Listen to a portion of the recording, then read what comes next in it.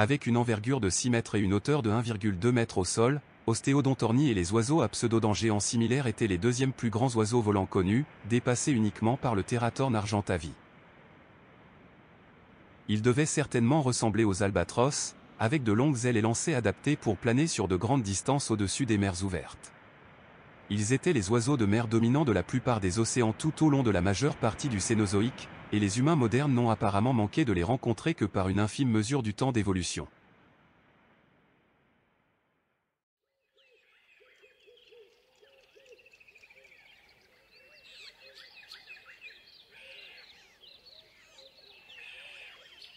Les espèces de Gastorni étaient de très gros oiseaux et étaient originellement considérés comme des prédateurs de petits mammifères. Il a été soupçonné d'avoir été un chasseur embusqué et d'avoir utilisé des techniques de chasse en meute pour poursuivre ou tendre une embuscade à des proies. Cependant, des études sur la structure de leur bec ont amené les scientifiques à réinterpréter ces oiseaux comme des herbivores qui se nourrissaient probablement de matière végétale et de graines dures. La cause de son extinction est actuellement incertaine, la concurrence avec les mammifères a souvent été citée comme un facteur possible.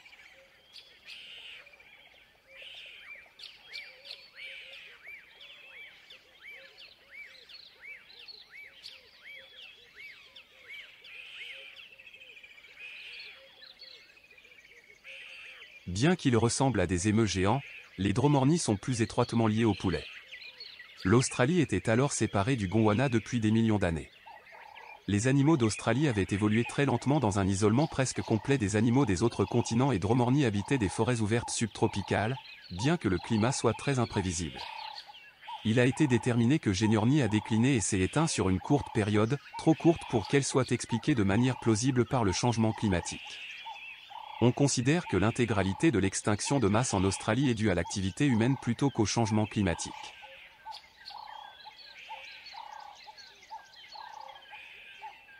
Parmi les oiseaux modernes, Vegavi est le plus étroitement lié au canard, mais il n'est pas considéré comme un ancêtre direct pour autant. La découverte de cette espèce démontre que les grands groupes d'oiseaux vivants aujourd'hui s'étaient déjà diversifiés au Crétacé.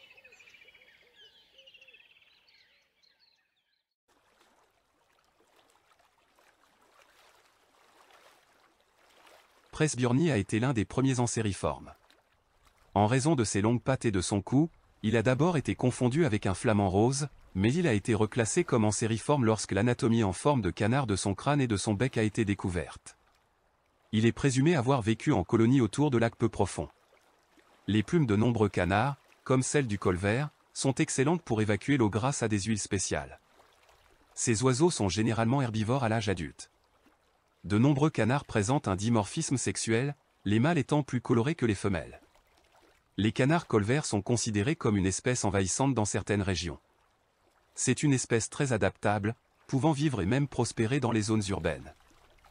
Il cause une grave pollution génétique à la biodiversité de l'Afrique du Sud en se reproduisant avec des canards endémiques. L'iris mature à tête blanche plonge et nage sous l'eau. Ils sont omnivores, avec une prédominance végétale. Ils hésitent à voler, préférant nager pour se mettre à l'abri.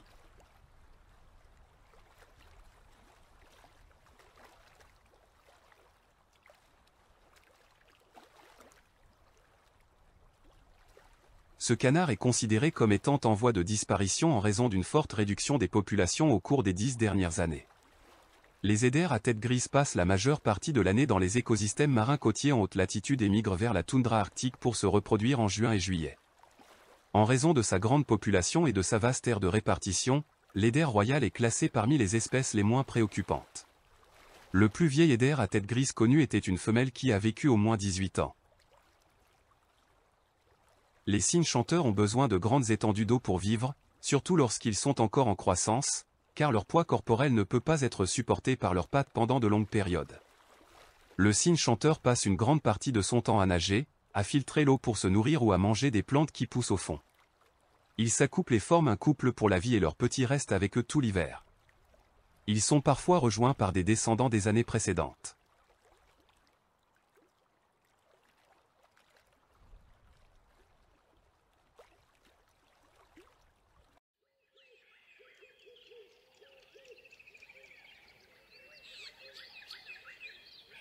Les pintades sont particulièrement bien adaptées à la consommation de quantités massives de tiques, qui pourrait autrement propager la maladie de Lyme. Ces oiseaux sont terrestres et ont tendance à courir plutôt qu'à voler lorsqu'ils sont en danger. Comme la plupart des oiseaux gallinacés, ils ont un vol explosif de courte durée et comptent sur le vol plané pour couvrir de longues distances. Ils émettent des cris forts et durs lorsqu'ils sont dérangés. Le coq doré est le principal ancêtre du poulet domestique. Il a été domestiqué pour la première fois il y a au moins 5000 ans en Asie. Depuis lors, sa forme domestique s'est répandue dans le monde entier et est conservée dans le monde entier comme une source alimentaire très productive de viande et d'œufs. Beaucoup de ces animaux souffrent dans des fermes industrielles où ils ne voient jamais la lumière du jour, les mâles sont les plus chanceux car tués dès leur éclosion, juste certains reproducteurs sont gardés, les femelles elles devront pondre des œufs trop gros pour leur bassin avant d'être tuées après une courte vie. Ces animaux peuvent vivre 10 ans, mais dans ces fermes ils sont tués au bout de 11 mois. Ils sont les animaux les plus nombreux de la planète, 60 milliards d'individus, dont plus de 55 milliards sont tués chaque année. Le pan indien vit principalement sur le sol en forêt ouverte et il est surtout connu pour sa longue traîne composée de plumes allongées sur la partie supérieure de la queue qui porte des taches oculaires colorées. La fonction du train élaboré du pan est débattue depuis plus d'un siècle. Charles Darwin a trouvé que c'était une énigme, difficile à expliquer par la sélection naturelle ordinaire.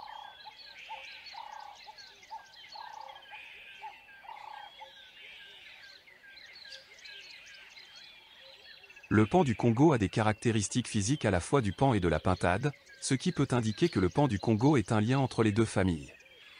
Ce sont des omnivores avec un régime alimentaire composé principalement de fruits et d'insectes.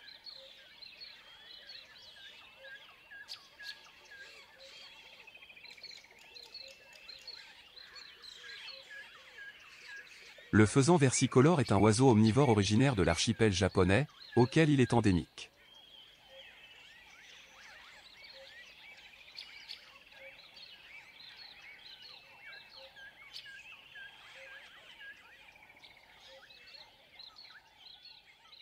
Malgré leur poids, les dindons sauvages, contrairement à leurs homologues domestiqués, sont agiles et rapides.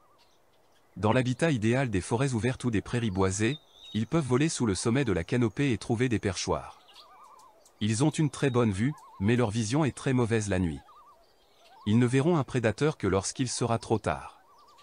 Le dindon sauvage, dans toute son aire de répartition, joue un rôle important dans les cultures de nombreuses tribus amérindiennes partout en Amérique du Nord. En dehors de la fête de Thanksgiving, c'est un repas préféré dans les tribus orientales.